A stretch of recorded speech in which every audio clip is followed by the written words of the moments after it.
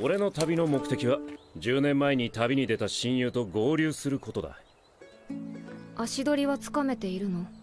俺たちが通ってきたのは北側諸国の主要な街道だ。今までも目撃情報があった。10年前だろ？よく目撃情報が残っているな。名前が特徴的だからな。戦士ゴリラだ。本名は？本名？本当に親友だったのかよ。ちなみに俺は僧侶あごひげ。聞いてねえよ。どちらにせよ戦士ゴリラって名前だけ分かれば十分だ。変なやつだな。ああ変なやつなんだ